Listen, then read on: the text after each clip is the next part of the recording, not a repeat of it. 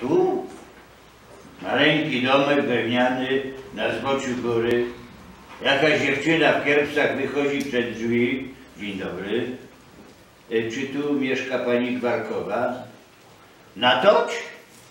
Mówi dziewczyna i woła ku sieni. Ciotko! Tu kiedyś do was piszę. Była to Jadwiga Legierska, ale wtedy jeszcze nie wiedziałem, że to właśnie ona. Wszedłem do środka. Wyłuszczyłem dokładnie chytrze przemyślany plan. E, Chodzi o dwie rzeczy.